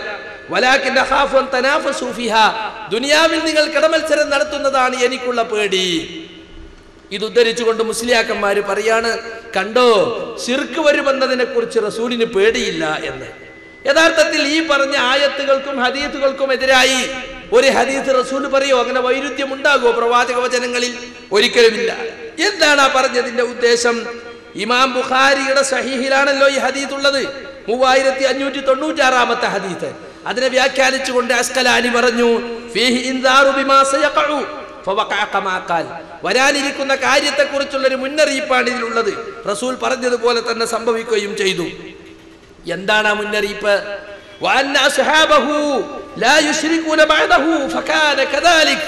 നബിയുടെ സഹാബികൾ നബിക്കു ശേഷം ശിർക്കിലകപ്പെടുകയില്ല. അത് അങ്ങനെ തന്നെ സംഭവിച്ചു. സഹാബികൾക്കിടയിൽ ഉണ്ടായത് എന്താ ദുനിയാവിന് വേണ്ടിയുള്ള അധികാരത്തിന് വേണ്ടിയുള്ള അതുപോലെ രാഷ്ട്രീയ കാര്യങ്ങൾക്ക് വേണ്ടിയുള്ള അഭിപ്രായ വ്യത്യാസങ്ങളും കടമത്സരങ്ങളും അവർക്കിടയിൽ ഉണ്ടായി. പക്ഷെ അവർ ശിർക്കിലേക്ക് പോയിട്ടില്ല. അപ്പൊ ആ ഹദീസിന്റെ ഉദ്ദേശം എന്നെ കേൾക്കുന്ന എന്റെ സഹാബത്ത് ശിർക്കിലേക്ക് പോവുകയില്ല എന്ന് മാത്രമാണ്. അല്ലാതെ വരാനിരിക്കുന്ന ക്യാമനാൾ വരെയുള്ള എന്റെ ഉമ്മത്തിൽ ആരും ശിർക്കിലേക്ക് പോവുകയില്ല എന്നല്ല. എന്ന് മാത്രല്ല വേറൊരു ഹദീസ് ഇതേ ഹദീസ് വേറൊരു സ്ഥലത്ത് അദ്ദേഹം വ്യാഖ്യാനിച്ചപ്പോ നിങ്ങൾ ശിർക്കിലേക്ക് പോകുന്നതല്ല എനിക്കുള്ള ഭയം എന്ന് പറഞ്ഞാൽ അലാ മജ്മൂഇക്കും. നിങ്ങൾ ഒന്നായി മുസ്ലിം ഉമ്മത്ത് ഒന്നായി ശിർക്കിൽ പതിക്കും എന്ന് ഞാൻ പേടിക്കുന്നില്ല. കാരണം ശിർക്ക് എന്നത് ഈ ഉമ്മത്തിൽ ചില ആളുകളിൽ നിന്ന് വന്നു പോയിട്ടുണ്ടല്ലോ. അള്ളാഹു നമ്മളെ കാത്തുരക്ഷിക്കുമാറാകട്ടെ എന്ന്. അപ്പൊ സുഹൃത്തുക്കളെ ഈ ഹദീത്തോ വേറെ ഏതെങ്കിലും ഹദീത്തോ ശിർക്ക് വരികയില്ല എന്ന് സൂചിപ്പിക്കുന്നില്ല. പത്തോ പതിനാലോ ഹദീസ് ഗ്രന്ഥങ്ങളിൽ നിന്നും ഈ ഹദീസിന്റെ വ്യാഖ്യാനം മുഹദ്ദിസുകൾ പറഞ്ഞത് ഈ ഉള്ളവൻ എഴുതി ശിശിലാഹി മാസികയിൽ പ്രസിദ്ധീകരിച്ചിട്ടുണ്ട്. ലക്കം എനിക്ക് ഓർമ്മയില്ല രണ്ടു വർഷം മുമ്പ്. മുസ്ലിമീങ്ങളിൽ ശിർക്ക് വരികയില്ലെന്നോ എന്നാണ് അതിന്റെ ഹെഡിങ്. നിങ്ങൾ വായിക്കണം അത്. അപ്പൊ മുസ്ലിം ഉമ്മത്തിൽ ശിർക്ക് സംഭവിക്കുമെന്ന് നബിസല്ലാസ് പഠിപ്പിച്ചിട്ടുണ്ട് ഖുർആൻ പഠിപ്പിച്ചിട്ടുണ്ട്. അതുകൊണ്ട് നാം പരിശോധിക്കണം. മുസ്ലിം ഉമ്മത്തിൽ ശിർക്ക് വന്നു പോയിട്ടുണ്ടോ? നാം ജീവിക്കുന്നത് ഒരുപാട് മതവിശ്വാസികൾക്കിടയിലാണ്. ഭൗതിക ജീവിതത്തിന്റെ വ്യത്യസ്ത മേഖലകളിൽ ഒരുപാട് മതവിശ്വാസികളോട് ഇടപഴകിക്കൊണ്ടും സമ്പർക്കം പുലർത്തിക്കൊണ്ടുമാണ് ഞാനും നിങ്ങളും കഴിഞ്ഞുകൂടുന്നത്. അതുകൊണ്ട് തന്നെ ഈ സമ്പർക്കം നിമിത്തം നമ്മുടെ വിശ്വാസങ്ങളിലും ആചാരങ്ങളിലും അനുഷ്ഠാനങ്ങളിലും പലപ്പോഴും പലതും കടന്നുകൂടാനുള്ള സാധ്യതയുണ്ട്. കാരണം നാം പലപ്പോഴും ദീൻ വേണ്ടതുപോലെ പഠിക്കാത്തതിനാൽ ഏതാണ് യഥാർത്ഥ ഇസ്ലാമിക വിശ്വാസം? ഏതാണ് ഇസ്ലാമിക വിരുദ്ധമായ അനിസ്ലാമിക വിശ്വാസം എന്ന് നമ്മളിൽ പലർക്കും അറിഞ്ഞുകൂടാ. അതുകൊണ്ട് തന്നെ നാം പലരുമായും കൂടിക്കലരുമ്പോൾ നമുക്ക് നമ്മുടെ വിശ്വാസത്തെക്കുറിച്ച് വേണ്ടതുപോലെ ധാരണയില്ലെങ്കിൽ നാം ശിർക്കിലേക്ക് പോകും യാതൊരു സംശയവുമില്ല. അതുകൊണ്ട് തൗഹീദും സിർക്കും വകതിരിച്ചു നാം മനസ്സിലാക്കി വെച്ചിട്ടില്ലെങ്കിൽ നാം അറിയാതെ സിർക്കിലേക്ക് പോകും. സിർക്കാണെന്ന് മനസ്സിലാക്കാതെ പലപ്പോഴും ശിർക്ക് ചെയ്തുകൊണ്ടിരിക്കുന്ന ഒരുപാട് ആളുകളെ ഇന്ന് നമ്മുടെ ഉമ്മത്തിൽ കാണാൻ സാധിക്കും. മുജാഹിദ് പ്രസ്ഥാനം അതിന്റെ ഒന്നാം തീയതി മുതൽ തന്നെ ഈ പ്രസ്ഥാനത്തിന്റെ പ്രബോധനത്തിൽ പ്രഥമവും പ്രധാനവുമായി കണ്ടത് ശിർക്കിനെതിലുള്ള ബോധവൽക്കരണമാണ്. മുസ്ലിം ഉമ്മത്തിലെ ജീർണതകളിൽ ഏറ്റവും വലിയ ജീർണതയായി ഞങ്ങൾ കാണുന്നത് ഈ ഖബർ ആരാധനയും അതുപോലെ അള്ളാഹുവല്ലാത്തവരോടുള്ള പ്രാർത്ഥനയുമാണ്. ഇന്നും എന്നും അതിൽ യാതൊരു മാറ്റവുമില്ല. പല ആളുകളും പറയുന്നു മുജാഹിദുകളുടെ തൗഹീദ് മാറിക്കൊണ്ടിരിക്കുന്നു. ഇല്ല മുജാഹിദുകളുടെ തൗഹീദിനൊരു മാറ്റവുമില്ല. മുജാഹിദുകൾ അന്ന് പറഞ്ഞത് അള്ളാഹു അല്ലാത്തവരെ വിളിച്ച് പ്രാർത്ഥിക്കുന്നത്.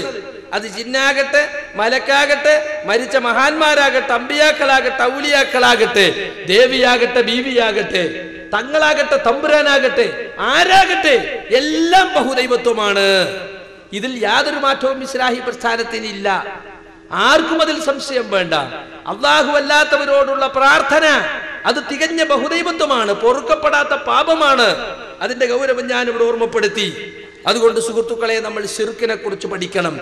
ചില ആളുകൾ പറയും ഷിർക്കിനെ കുറിച്ച് ഇങ്ങനെ പറയുന്നത് തൗഹീദ് അങ്ങ് പഠിപ്പിച്ചു കൊടുത്താൽ പോരെ. അങ്ങനെയാണ് ചില ദാവത്ത് സംരംഭക്കാര് ഷിർക്കിനെ കുറിച്ച് അവരൊന്നും മിണ്ടൂല. നമ്മൾ ചോദിക്കും നിങ്ങൾ എന്താ ഷിർക്കിനെ കുറിച്ച് പറയാത്തത്? മുസ്ലിം ഉമ്മത്തിന്റെ ഇജ്ജത്ത് വീണ്ടെടുക്കാൻ യഥാർത്ഥ ഇസ്ലാമിക ദൈവത്തിനെ തിരിച്ചു കൊണ്ടുവരാനാണ് ഞങ്ങൾ ശ്രമിക്കുന്നത് എന്ന് പറഞ്ഞ് പള്ളികളിൽ നിന്ന് പള്ളികളിലേക്ക് ദൈവത്തുമായി പോകുന്ന നമ്മുടെ ചില സുഹൃത്തുക്കൾ അവരെ ഇഖ്ലാസിനെ പറ്റിയോ അവരുടെ മത സ്നേഹത്തെക്കുറിച്ചോ എനിക്ക് അഭിപ്രായ വ്യത്യാസമില്ല. പക്ഷേ അവരെ ഈ പ്രബോധന ശൈലിയിൽ അവർ പലപ്പോഴും ശിർക്ക് ബിദാത്തുകളെ അവഗണിക്കുകയാണ് പതിവ്. അതിനെക്കുറിച്ച് അവർ ചോദിച്ചാൽ പറയും തൗഹീദ് അങ്ങോട്ട് പഠിപ്പിച്ചാൽ ആട്ടോമാറ്റിക് ആയിട്ട് ശിർക്കങ്ങ് ഔട്ടാവും. എന്നിട്ട് അവരൊരു ഉദാഹരണം പറയും നമ്മളൊരു ഇരുട്ടുള്ള റൂമിലേക്ക് ടോർച്ചങ്ങ് അടിച്ചാൽ ഇരുട്ടങ്ങ് താനേ നീങ്ങിക്കൊള്ളും. അതുപോലെയാണ് നമ്മളെ ചില പോയത്തക്കാരൊക്കെ അത് ശരിയാണല്ലോ ശിർക്ക് ശിർക്ക് എന്ന് പറയാതെ തൗഹീദ് അങ്ങനെ പറഞ്ഞാൽ പോരെ. ശിർക്ക് പറയാതെ തൗഹീദ് വ്യക്താകുക കൂട്ടരെ. ഏതൊരു കാര്യവും വ്യക്തമാകണമെങ്കിൽ അതിന്റെ നേർവിപരീതം പറയണം. കറുപ്പ് എന്താണെന്ന് അറിയണമെങ്കിൽ വെളുപ്പ് തിരിയണം. രാവെന്താണെന്ന് മനസ്സിലാക്കണമെങ്കിൽ പകലിനെ കുറിച്ച് പറയണം. അല്ലെങ്കിൽ മനസ്സിലാവൂല. അതുകൊണ്ട് തൗഹീദ് എന്താണെന്ന് അറിയണമെങ്കിൽ ഷിർക്കിനെ കുറിച്ച് പറയണം. ഹുദൈഫത്ത് ജമാൻ റസൂലുള്ളാഹി അലൈഹി വസല്ലം അനിൽ ഖൈരി അസ്അലുഹു അനിൽ എല്ലാവരും റസൂലുള്ളാഹിയോട് പറ്റി നന്മയെ കുറിച്ചാണ് ചോദിച്ചിരുന്നത്. ഞാൻ റസൂലയോട് ചോദിക്കാറുള്ളത് ഷെറിനെ കുറിച്ചാണ്. എന്തിനാ ഷെറിനെ കുറിച്ച് ചോദിക്കുന്നത്? ഞാൻ അതിൽ പെട്ടുപോകുന്നത് പേടിച്ചുകൊണ്ട്. അപ്പൊ ഷിർക്ക് എന്താണെന്ന് ചോദിച്ചറിയണം. അപ്പോൾ മാത്രമേ ഷിർക്കിൽ അകപ്പെടാതിരിക്കാൻ എനിക്കും നിങ്ങൾക്കും സാധിക്കുകയുള്ളൂ. മുസ്ലിം ഉമ്മത്തിൽ ജീവിക്കുന്ന നമ്മൾ ഓരോരുത്തരും ഷിർക്ക് വരുന്ന വഴികളെ തിരിച്ചറിയണം.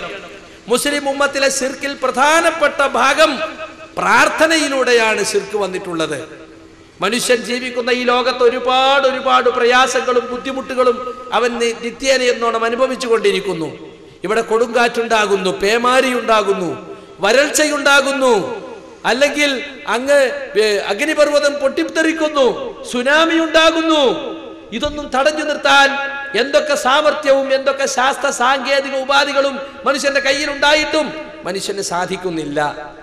കണ്ടോ? സുനാമിയെ കുറിച്ച് മൃഗങ്ങൾ അറിഞ്ഞു മനുഷ്യൻ അറിഞ്ഞില്ല കടന്നുറങ്ങുന്ന മനുഷ്യൻ. നിങ്ങൾ കെട്ടു സുനാമിയുടെ ദുരന്തങ്ങൾ വലിയ വലിയ കെട്ടിടങ്ങൾ. തുടച്ചു നീക്കി അവിടെ കെട്ടിടം ഉണ്ടെന്ന് പോലും തോന്നാത്ത വിധം. എന്താ? കടലിനകത്തുണ്ടായ ഭൂകമ്പം. അത് കരയിലേക്ക് വരികയാണ്.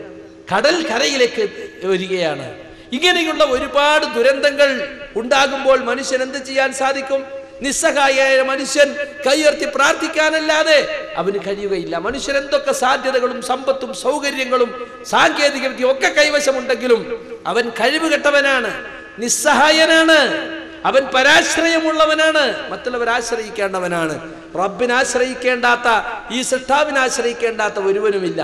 അപ്പൊ പ്രാർത്ഥന എന്നത് മനുഷ്യ ജീവിതത്തിന്റെ ഒഴിച്ചുകൂടാനാവാത്ത ഒരു സംഗതിയാണ്. പ്രാർത്ഥിക്കാത്ത ആരും ഉണ്ടാവില്ല അതാണ് വാസ്തവം. അങ്ങനെയുള്ള പ്രാർത്ഥന അതൊരിക്കലും തന്നെ അള്ളാഹുവിനോടല്ലാതെ സൃഷ്ടാവിനോടല്ലാതെ മറ്റാരോടും പാടില്ല. അത് ആ വിഷയത്തിലാണ് മുസ്ലിംകൾക്ക് തെറ്റുപറ്റിയിട്ടുള്ളത്. നമ്മൾ ഒന്നാമത്തെ ഷഹാദത്ത് കലിമ മദർസയിലൊക്കെ ചൊല്ലിപ്പടിക്കും അശ്വതു ഞാൻ സാക്ഷ്യം വഹിക്കുന്നു അല്ലാ ഇലാഹ ഒരു ഇലാഹുമില്ലെന്ന് ഇല്ലല്ലാഹു അള്ളാഹു ഒഴികെ. അള്ളാഹു ഒഴികെ യാതൊരു ഇലാഹുമില്ലെന്ന് ഞാൻ സാക്ഷ്യം വഹിക്കുന്നു. എന്താണ് ഇലാഹിന്റെ അർത്ഥമെന്ന് പല ആളുകൾക്കും ഇപ്പോഴും അറിഞ്ഞുകൂടാ. ചിലരൊക്കെ പറയും അല്ലല്ലാതെ പടച്ചോനില്ല പടച്ചവൻ എന്ന് പറഞ്ഞാൽ സൃഷ്ടിച്ചവൻ ഖാലിക്ക്. അതാണോ അതിന്റെ അർത്ഥം? ഇലാഹിന്റെ അർത്ഥം അല്ല. ഇലാഹ് എന്നത് ഒരു പൊതുപേരാണ്. ആരാധന അർപ്പിക്കപ്പെടുന്ന എല്ലാത്തിനുമുള്ള ഒരു വർഗനാമമാണത്. ഇസ്മുജിൻസിൻ കുല്ലി മഹബൂദ് ആരാധിക്കപ്പെടുന്ന എല്ലാത്തിനും പറയുന്ന പേരാണ് ഇലാഹ്. എന്നാൽ ലാ ഇലാഹ ഇല്ലല്ല എന്നതിലെ ഇലാഹ് ആരാധന കർഹൻ എന്നാണ്. അതുകൊണ്ടാണ് മുസ്ലിം പണ്ഡിതന്മാരൊക്കെ അൽ മുസ്തഹിഖുലിൽ ഇബാദ ഇബാദത്തിന് അർഹൻ അൽ മഅബൂദ് ബിഹഖിൻ യഥാർത്ഥത്തിൽ ആരാധിക്കപ്പെടേണ്ടവൻ. അവൻ ഇലാഹ ഇല്ലല്ലക്ക് എന്താ അർത്ഥം? യഥാർത്ഥത്തിൽ ആരാധിക്കപ്പെടേണ്ടവൻ സാക്ഷാൽ ആരാധ്യൻ അള്ളാഹു മാത്രം. ലാ ഇലാഹ ഒരു ഇലാഹുമില്ല ഇല്ലല്ലാ അള്ളാഹു ഒഴികെ. അപ്പൊ ലാ ഇലാഹ എന്നിടത്ത് നമ്മൾ ആദ്യം പഠിക്കണം. എന്താ? അള്ളാഹുവിന്റെ പുറം ആരാധിക്കപ്പെടുന്ന ഏതൊക്കെ വ്യക്തികളും ശക്തികളും ഉണ്ടോ? അതിനെയൊക്കെ തള്ളിപ്പറിക്കണം അതിനെയൊക്കെ നിഷേധിക്കണം. അപ്പോഴേ ഒരാൾ ഇസ്ലാമിൽ കടന്നു വരാൻ സാധിക്കുള്ളൂ മനുഷ്യർ എന്തിനെയൊക്കെ ആരാധിക്കുന്നുണ്ടെന്ന്? സി എച്ച് മുഹമ്മദ് കോയ പറയുന്നത് പോലെ അപ്പൊ ഞാൻ പറഞ്ഞു വന്നത് ലായിലാഹ ഇല്ലല്ല എന്നതിന്റെ അർത്ഥം ചൊല്ലിപ്പടിക്കുന്ന ആളുകൾക്ക് പോലും യഥാർത്ഥത്തിൽ എന്താണ് അതിന്റെ താല്പര്യം എന്ന് വേണ്ടതുപോലെ മനസ്സിലായിട്ടില്ല. ആരാധന കർഹൻ അള്ളാഹു മാത്രമാണ്. അപ്പൊ അർഹതയില്ലാത്ത ഒരുപാട് ആളുകൾ ഇവിടെ ഒരുപാട് സൃഷ്ടികൾ ഇവിടെ ആരാധിക്കപ്പെടുന്നുണ്ട്. അവയെല്ലാം വ്യാജ ദൈവങ്ങളാണ് കള്ള ദൈവങ്ങളാണ്. യഥാർത്ഥ ദൈവം യഥാർത്ഥ ആരാധ്യൻ ലോകത്തെ സൃഷ്ടിച്ച് സംരക്ഷിക്കുന്ന ലോകത്തിന് മുഴുവനും രക്ഷ നൽകുന്ന ഏകനായ സിദ്ധാവായ അള്ളാഹു മാത്രമാണ്. അതിനാളുകൾ എന്തു പേര് പറഞ്ഞു വിളിച്ചാലും ഈശ്വരൻ എന്ന് പറയും ചില ആളുകൾ ഗോഡ് എന്ന് പറയും ഇംഗ്ലീഷുകാരൻ ഹുദ എന്ന് പറയും ഉറുദുക്കാരൻ എല്ലാവരും ഉദ്ദേശിക്കുന്നത് ഏകനായ അള്ളാഹുവിനെയാണ്. ആ അള്ളാഹുവിനെ മാത്രമാണ് ആരാധിക്കേണ്ടത്. അപ്പൊ ലാ ഇലാഹ ഒരാരാധ്യനുമില്ല. ആരാധനക്കർഹനായി ആരും തന്നെ ഈ- പ്രപഞ്ചത്തിൽ ഇല്ല ഇല്ലല്ലാ അള്ളാഹു മാത്രം. അപ്പൊ അള്ളാഹു ഒഴികെ ആരാധനക്കർഹനായി ആരുമില്ല എന്നത് ഈ തത്വമാണ് യഥാർത്ഥത്തിൽ പ്രവാചകന്മാരുടെ ശത്രുക്കൾക്ക് ദഹിക്കാതെ പോയത്. നമുക്കറിയാം മുഹമ്മദ് മുസ്തഫ സല്ലാഹു അലഹി വസ്ല്ലം അദ്ദേഹം വരുന്ന കാലത്ത് ആയിരത്തി നാനൂറ് വർഷം മുമ്പ് മക്കയിലും പരിസരത്തും ബിംബാരാധന കൊടികുത്തി വാഴുകയായിരുന്നു. മരിച്ചുപോയ മഹാന്മാർ ആരാധിച്ചിരുന്ന അവരുടെ ബിംബങ്ങൾ ഉണ്ടാക്കി ആരാധിച്ചിരുന്ന ആളുകൾ കബറുകളെ പൂജിച്ചിരുന്ന ആളുകൾ അങ്ങനെയുള്ളവരുടെ ഇടയിലാണ് ലായിലാഹ ഇല്ലല്ലാ എന്ന സന്ദേശവുമായി യഥാർത്ഥത്തിൽ മുഹമ്മദ് മുസ്തഫ സല്ലാഹു അലഹി വസ്ല്ലം വന്നത്. ലാത്തയെ ലാത്ത എന്ന് പറയുന്നത് അവിടെ ഹജ്ജിന് വരുന്ന ആളുകൾക്ക് മധുരപാനീയം ഉണ്ടാക്കി കൊടുത്തിരുന്ന ഒരാളാണ്. അദ്ദേഹം മരിച്ചപ്പോൾ ആദ്യം അദ്ദേഹത്തിന്റെ കബറുകൾ ഭജനമിരുന്നു. പിന്നീട് അദ്ദേഹത്തിന്റെ ബിംബമുണ്ടായി. അങ്ങനെ ബിംബാരാധനയിലേക്ക് പോയി ലാത്തയെ ആരാധിച്ചു. അതുപോലെ ഉസയെ ആരാധിച്ചു മനാത്തെ ആരാധിച്ചു ഇബ്രാഹിം നബി ആരാധിച്ചു ഇസ്മായിൽ നബി ആരാധിച്ചു. ഇങ്ങനെ പലതിനെയും ആരാധിച്ചിരുന്നു ആളുകൾ. ഇവിടെയാണ് അള്ളാഹു മാത്രമാണ് ആരാധനക്കർഹൻ എന്ന സന്ദേശവുമായിട്ട് മുഹമ്മദ് മുസ്തഫ സല്ലാഹു അലൈഹി വസല്ലം വന്നത്. പക്ഷേ അബൂജഹലും മുത്തുബത്തും ഷെയ്ബത്തും അടക്കമുള്ള മക്കയിലെ മുഷിരിക്കുകൾ ലായിലാഹ ഇല്ലല്ലാ എന്ന സന്ദേശം അംഗീകരിക്കാൻ കൂട്ടാക്കിയില്ല. കാരണം എന്താ? ലാ ഇലാഹ ഇല്ലല്ലാ എന്നത് അംഗീകരിച്ചാൽ പിന്നെ എനിക്ക് ഇബ്രാഹിം നബിയോട് പ്രാർത്ഥിക്കാൻ പറ്റില്ല. എനിക്ക് പിന്നെ ലാത്തയോട് പ്രാർത്ഥിക്കാൻ പറ്റില്ല. അതുകൊണ്ട് മുഹമ്മദിന്റെ ഈ തത്വം നമുക്ക് സ്വീകാര്യമല്ല. ലാത്ത നമ്മുടെ ഇലാഹല്ലേ?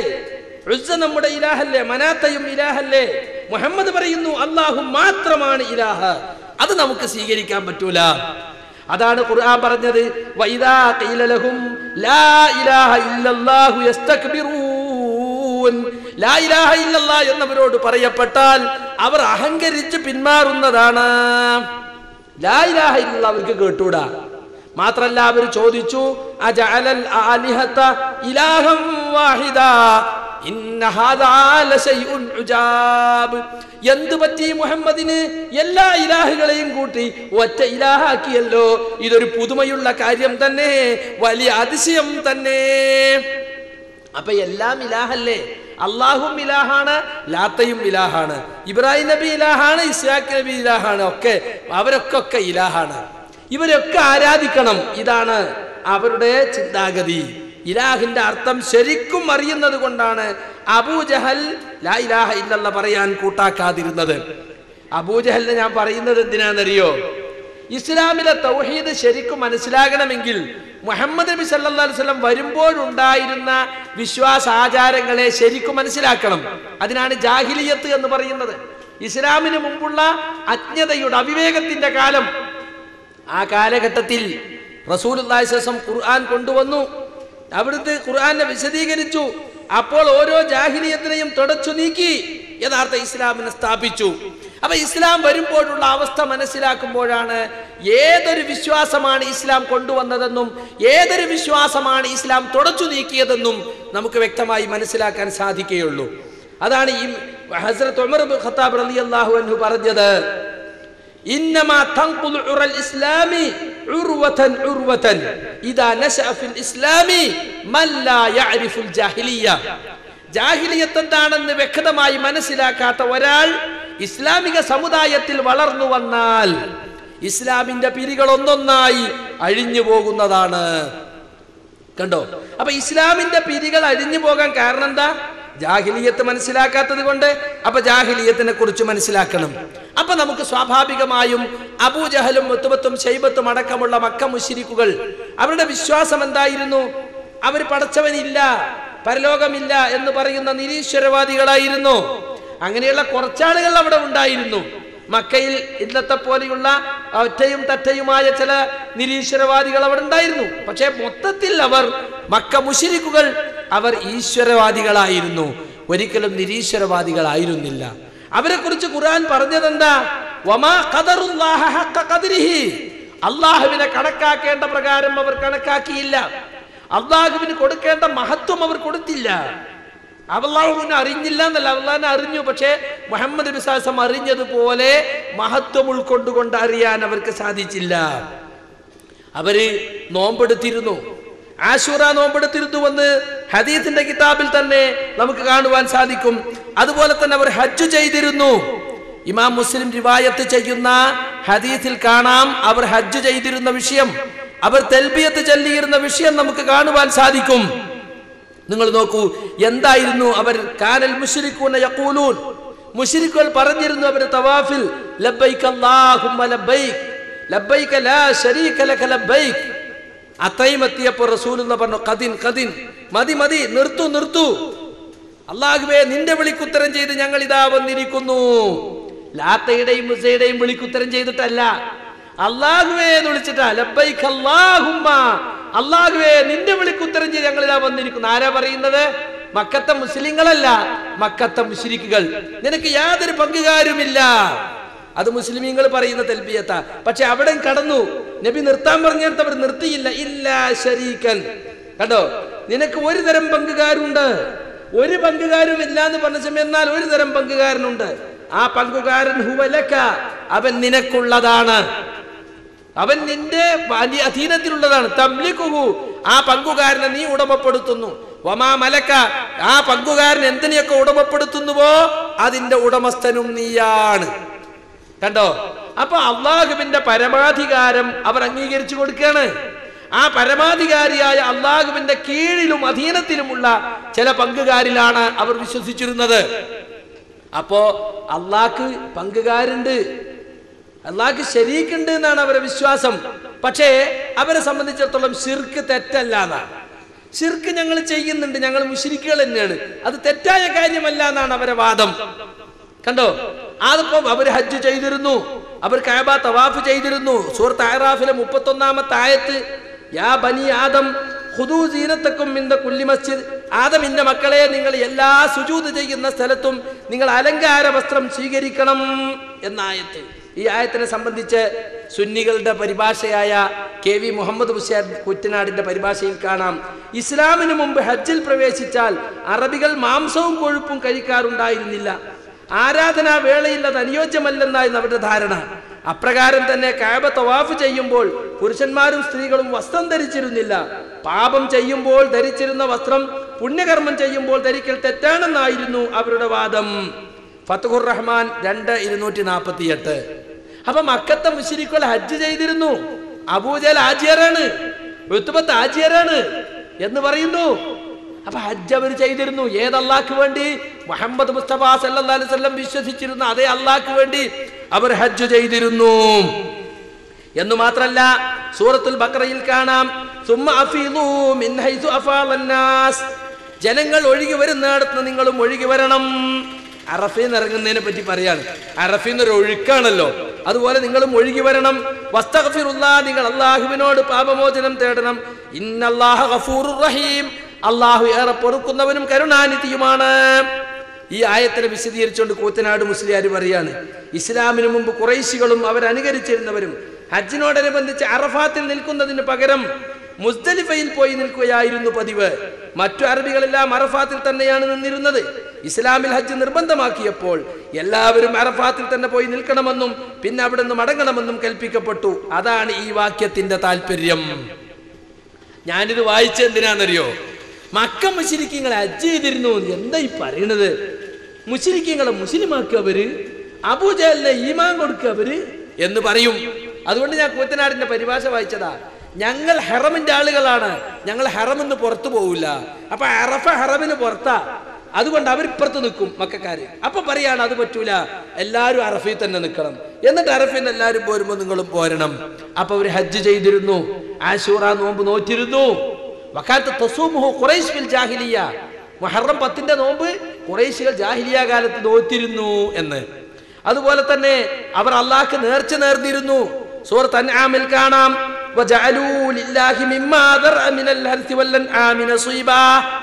അള്ളാഹു അവർക്കായി സൃഷ്ടിച്ചു കൊടുത്ത കാലികളിലും കൃഷിയിൽ നിന്നും ഒരു വിഹിതം അവർ മാറ്റിവച്ചിരുന്നു. അള്ളാഹ്ക്ക് വേണ്ടി. എന്നിട്ട് അവർ പറയും ഇത് അള്ളാഹ്ക്കുള്ളതാണ് അവർ ജൽപ്പനമനുസരിച്ച് ഇത് നമ്മുടെ പങ്കാളികൾക്കും അപ്പൊ കൃഷിയെന്നും കാലികളെന്നും ഒരു വിഹിതം പടച്ചോനും ഒരു വിഹിതം അവരെ പങ്കാളികൾക്കും. പങ്കാളികൾക്കുള്ളതൊരിക്കലും അള്ളാഹുവിലേക്ക് എത്തുകയില്ല. ഒമാക്കാനലില്ല അള്ളാഹുവിനുള്ളതാകട്ടെ ഇലാ ശുറക്കായിയും. അത് അവരെ പങ്കാളികൾക്ക് എത്തുകയും ചെയ്യും. കണ്ടോ? സാമായ ഹക്കുമൂൻ അവർ വിധിക്കുന്നത് എത്ര മോശം? ഇതിനെപ്പറ്റി കൂറ്റനാട് മുസ്യാർ പറയാ ബിംബങ്ങൾ അള്ളാഹുവിന്റെ പങ്കുകാരാണെന്ന് അവർ വിശ്വസിച്ചിരുന്നു. തദടിസ്ഥാനത്തിൽ അള്ളാഹു സൃഷ്ടിച്ച കൃഷി കാലികൾ എന്നിവയിൽ നിന്നൊരംശം അള്ളാഹുവിനും ഒരംശം തങ്ങളെ ബിംബങ്ങൾക്കും അവർ നീക്കി വച്ചിരുന്നു. ഇങ്ങനെ അവർ ചെയ്തിരുന്ന യാതൊരു ലക്ഷ്യത്തിന്റെയും അടിസ്ഥാനത്തിലായിരുന്നില്ല. അതാണ് തങ്ങളുടെ വാദമനുസരിച്ച് ബിസാമിഹിം എന്ന് പറഞ്ഞത്.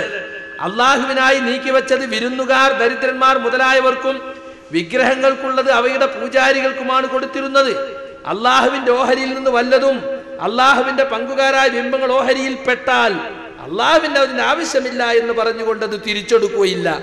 മറിച്ചാണെങ്കിൽ തിരിച്ചെടുക്കുകയും ചെയ്യും. പങ്കാളികളുടെ ഓഹരി നശിച്ചാൽ അള്ളാഹുവിന്റെത് അങ്ങോട്ട് തിരിക്കും. അള്ളാഹുവിന്റെ നശിച്ചാൽ അതിലേക്ക് മറ്റേ തിരിക്കുകയുമില്ല. കണ്ടോ? അള്ളാഹ്ക്ക് നീക്കിയ ചോഹരിന്ന് വല്ലതും കുറവ് വന്നാൽ അത് നികത്തൂല. പങ്കുകാർക്ക് നീക്കി വെച്ചിന് വല്ലതും കുറവെന്ന് അള്ളാന്റെ ഒരു എടുത്തിട്ട് ഇങ്ങോട്ട് കൊടുക്കും. അല്ല തന്നെയനല്ലേ നമ്മളെ പങ്കുകാർ ദരിദ്രരല്ലേ. ഇത് ഞാൻ വായിച്ചത് എന്തിനാ? അവർ അള്ളാഹ്ക്ക് നേർച്ചയാക്കിയിരുന്നു എന്ന് നിങ്ങൾ മനസ്സിലാക്കാൻ വേണ്ടിയാണ്. മക്കത്തെ മുഷരിക്കുകൾ അള്ളാഹ്ക്ക് നേർച്ചയാക്കിയിരുന്നു. അള്ളാഹ് കൊണ്ട് നോമ്പ് നോത്തിരുന്നു അള്ളാഹ്ക്ക് വേണ്ടി ഹജ്ജ് ചെയ്തിരുന്നു. അള്ളഹാനോട് അവർ പ്രാർത്ഥിക്കുകയും ചെയ്തിരുന്നു. കണ്ടോ? അനസ്ബിന് മാലിക് റളിയല്ലാഹുവിന്റെ റിവായത്ത് ചെയ്യാണ്. കാല അബൂജഹൽ. അബൂജഹൽ പറഞ്ഞു അല്ലാഹുമ്മ ഇൻകാന ഹാദാ ഹുവൽ ഹഖ് മിൻ ഇൻദിക് ഫഅംതിർ അലൈനാ ഹിജാറതൻ മിനസ് സമാ അവ ഇഅ്തിനാ ബിഅദാബിൻ അലീം. അല്ലാഹുവേ ഇതാണ് സത്യമെങ്കിൽ നിന്റെ അടുക്കലുള്ള സത്യമെങ്കിൽ മുഹമ്മദ് ഈ പറയുന്നതാണ് സത്യമെങ്കിൽ ഞങ്ങളുടെ മേൽ നീ കല്ലുമഴ വർഷിപ്പിക്കണേ ആകാശത്തു നിന്നും അല്ലെങ്കിൽ ഞങ്ങൾക്ക് വേദനാജനകമായ ശിക്ഷ കൊണ്ടുവരണമേ എന്ന് അബൂജഹൽ അള്ളാഹുവിനോട് പ്രാർത്ഥിച്ചു. ഫനസലത്ത് അപ്പോൾ ആയത്തിറങ്ങി ഏതായത്ത് മുഹമ്മദേ താങ്കൾ അവരുടെ കൂട്ടത്തിൽ ഉണ്ടായിരിക്കുമ്പോൾ അള്ളാഹു അവരെ ശിക്ഷിക്കുന്നതല്ല. അള്ളാഹു അവരെ ശിക്ഷിക്കുന്നതല്ല അവർ പാപമോചനം തേടുന്നവരായിരിക്കെ. സൂറത്ത് അൻഫാലിലെ മുപ്പത്തിമൂന്നാമത്തെ ആയത്ത് ഇത് ബുഖാരി കിതാബ് തഫ്സീറിൽ ഉദ്ധരിച്ചിട്ടുള്ളതാണ്. അപ്പൊ കണ്ടോ അവർ അബൂജഹലാണ് അള്ളാഹുമ്മ എന്ന് വിളിച്ച് പ്രാർത്ഥിക്കുന്നത്.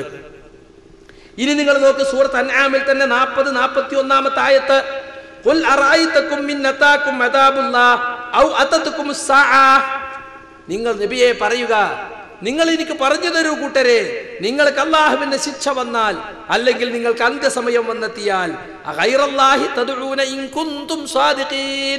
നിങ്ങൾ അള്ളാഹു അല്ലാത്തവരോട് പ്രാർത്ഥിക്കുമോ?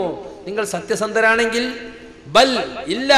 ഇയാഹു തദ്ഊൻ. അവനെ മാത്രമാണ് നിങ്ങൾ ആ സമയത്ത് വിളിക്കുക. നിങ്ങൾക്ക് വല്ല ശിക്ഷയും വന്നിറങ്ങി അല്ലെങ്കിൽ അന്ത്യസമയം വന്നാൽ നിങ്ങൾ ആ ശിക്ഷയിൽ നിന്ന് രക്ഷപ്പെടാൻ വേണ്ടി നിങ്ങൾ ആരെ വിളിക്കുക? അള്ളാനെ മാത്രം നിങ്ങൾ വിളിക്കുക. അങ്ങനെ നിങ്ങൾ അവനോട് പ്രാർത്ഥിച്ചാൽ നിങ്ങൾ ഏതൊരു കാര്യം നീക്കിക്കിട്ടാൻ നിങ്ങൾ അവനോട് തേടിയോ ആ പ്രശ്- പ്രശ്നത്തിൽ നിന്ന് അവൻ നിങ്ങളെ മോചിപ്പിച്ചു തരും. അവൻ ഉദ്ദേശിച്ചാൽ.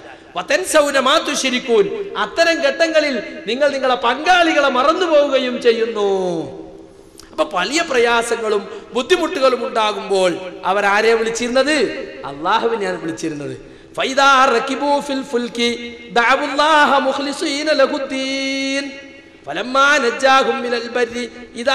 യുശിരിക്കൂൻ ഖുർആൻ തന്നെ പല സ്ഥലത്ത് പറഞ്ഞു അവർ കപ്പലിൽ യാത്ര ചെയ്താൽ കീഴ്വണക്കം അള്ളാഹ്ക്ക് മാത്രമാക്കി അള്ളഹാനോട് ദുആ ചെയ്യും.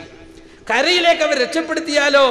കപ്പലിൽ കാറ്റും കോളും പിടിപെട്ട് കപ്പൽ മറിയാൻ പോകുമ്പോ എല്ലാ പങ്കുകാരെയും വിട്ടിട്ട് അള്ളഹാനോട് മാത്രം പ്രാർത്ഥിക്കും. കരയിലേക്ക് രക്ഷപ്പെടുത്തിയാലോ? അവർ വീണ്ടും അള്ളാഹുവിൽ പങ്കു ചേർത്തുകൊണ്ട് പങ്കാളികളെ വിളിച്ച് പ്രാർത്ഥിക്കും. നമ്മളെ നാട്ടിൽ പറയലില്ലേ പാലം കിടക്കോളം നാരായണ നാരായണ.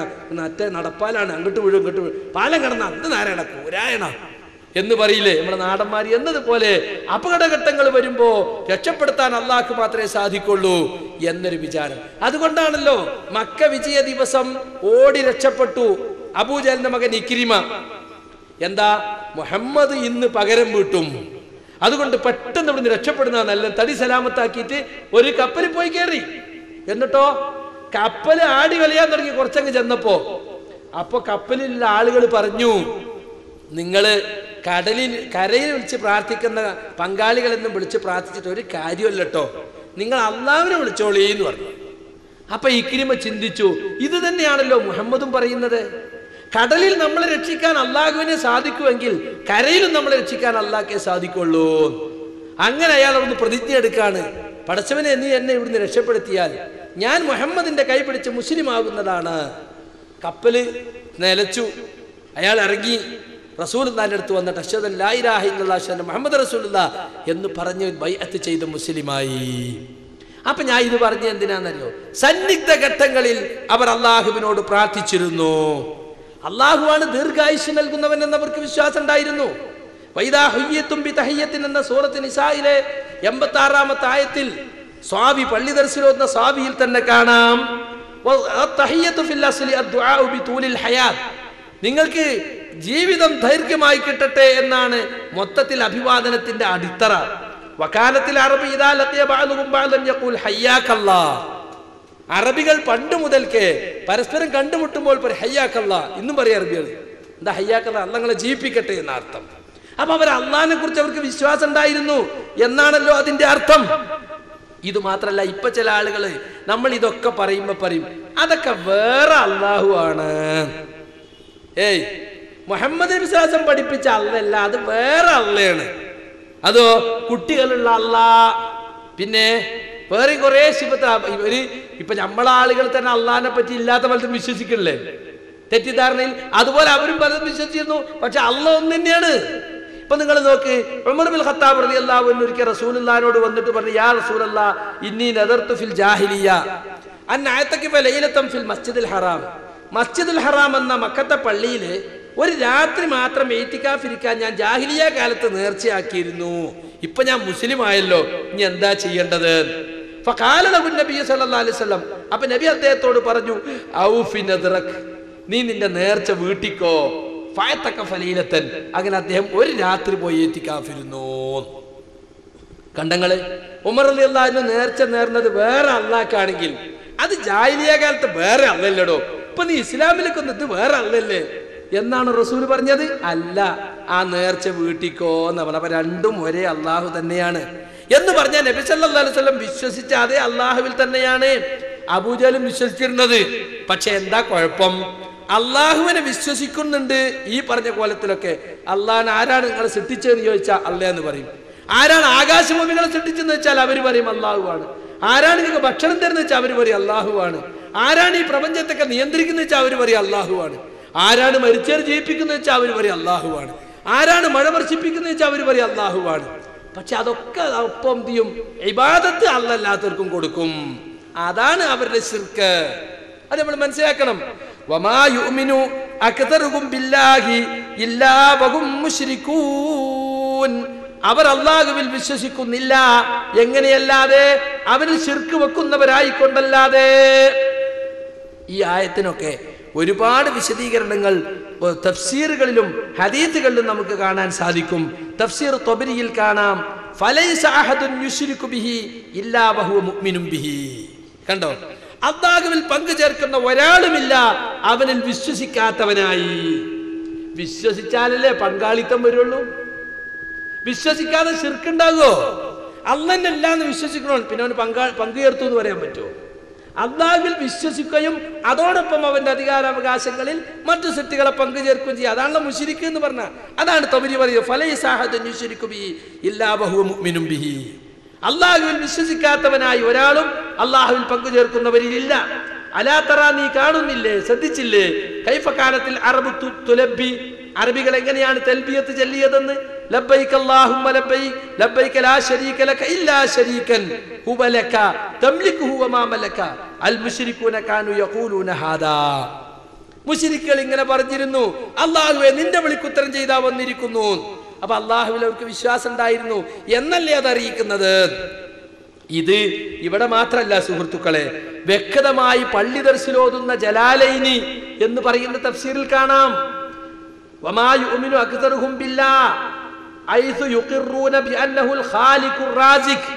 അവരിൽ അധികം ആളുകളും മക്കാരിൽ അധികം ആളുകളും അള്ളാവിൽ വിശ്വസിക്കുന്നുണ്ട്. ഏതാണ് ആ വിശ്വാസം? അവർ അംഗീകരിക്കുന്നു. അള്ളാഹുവാണ് സൃഷ്ടാവും ഭക്ഷണം നൽകുന്നവനും. ഇല്ലാവകും മുഷിരിക്കൂൻ മുഷിരിക്കളായി കൊണ്ടാണ് വിശ്വസിക്കുന്നത്. എങ്ങനെയാണ് ചെയ്ത് വിശ്വസിക്കുക മുഷിരിക്കൂന ബിഹി ഇബാദത്തിൽ അസ്നാം. കണ്ടോ? അവർ ബിംബങ്ങൾ ആരാധിച്ചുകൊണ്ട് ശിർക്ക് വെക്കുകയും ചെയ്തിരുന്നു. അതുകൊണ്ടാണ് അവരെ തെൽബിയത്തിൽ മേൽ പറഞ്ഞതുപോലെ അവർ പറഞ്ഞിരുന്നത്. അപ്പൊ അള്ളാഹുവാണ് സൃഷ്ടാവ് അവനാണ് ഭക്ഷണം നൽകുന്നവൻ അവനാണ് സംരക്ഷിക്കുന്നവൻ എന്നൊക്കെ വിശ്വസിച്ചുകൊണ്ട് അവന് മാത്രം അർഹതയുള്ള ഇബാദത്ത് അത് അള്ളല്ലാത്തവർക്ക് നൽകി. അതാണ് അവർ ചെയ്ത തെറ്റ്. കണ്ടോ? ചില ആളുകൾ പറയുന്നതൊക്കെ ബിംബം വെച്ചതുകൊണ്ടല്ലേ? എന്നാ റസൂലിന് പറഞ്ഞാൽ പോരാ ബിംബം എടുത്തിട്ടിട്ട് മഹാന്മാരെ വിളിച്ചോളി ഇബ്രാഹിം നബിന്റെ ബിംബം വെക്കാതെ ഇബ്രാഹിം നബിയെ കാക്കണേ എന്ന് പറഞ്ഞോളി എന്ന് പറഞ്ഞോ? ഇസ്മായിൽ നബിന്റെ ബിംബം എടുത്തിട്ടിട്ട് ഇസ്മായിൽ നബിയെ രക്ഷിക്കണേ എന്ന് പറഞ്ഞോളി പറഞ്ഞോ? പറഞ്ഞില്ല. അതുകൊണ്ടാണ് സുഹൃത്തുക്കളെ എന്താണ് ബിംബാരാധകന്റെ ഉദ്ദേശം? എന്റെ മുമ്പിലുള്ള ഈ ബിംബം ഒരു കല്ലാണ്. ഒരു കൽ മരക്കഷ്ണമാണ്. അത് ശില്പി കൊത്തിയുണ്ടാക്കി ഒരു രൂപം കൊടുത്തതാണ്. എന്നറിയാത്ത ഒരു ബിംബാരാധകനുമില്ല. പിന്നെന്തിനാ അതിന്റെ മുമ്പിൽ നിൽക്കുന്നത്? ഈ ബിംബത്തെ കാണുമ്പോൾ ഈ ബിംബം ഏതൊരു മഹാന്റെ ബിംബമാണോ ആ മഹാൻ മനസ്സിൽ ഓർമ്മ വരും. അപ്പൊ ശ്രദ്ധ വരും ഏകാഗ്രത കിട്ടും. അതിനു വേണ്ടിയാണ്. അങ്ങനെയല്ലേ ബിംബാരാധകന്മാർ ന്യായം പറയുന്നത്? ഞങ്ങൾ ഈ കല്ലിനെ അല്ല ആരാധിക്കുന്നത്. കല്ല് ഞങ്ങളെ ഏകാഗ്രതയ്ക്ക് വേണ്ടി കോൺസെൻട്രേഷന് വേണ്ടി മുമ്പിൽ വെക്കുന്നതാണ്. ഞങ്ങൾ ആരാധിക്കുന്നത് ആ ബിംബം ഏതൊരു മഹാന്റെ ബിംബമാണ്. ആ മഹാനെയാണ് ഞങ്ങൾ ആരാധിക്കുന്നത്. ആ മഹാൻ ഞങ്ങളെ കാണുന്നുണ്ട് അറിയുന്നുണ്ട് ഞങ്ങളെ വിഷമങ്ങൾ കേൾക്കുന്നുണ്ട് എന്ന വിശ്വാസത്തിലാണ്. കണ്ടോ? റാസി തന്നെ എഴുതി ഇന്നൽ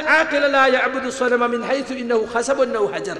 ബുദ്ധിയുള്ള ഒരുത്തൻ ബിംബത്തെ ആരാധിക്കുന്നത് അതൊരു മരക്കഷ്ണമോ കല്ലോ ആണ് എന്ന നിലക്കല്ല.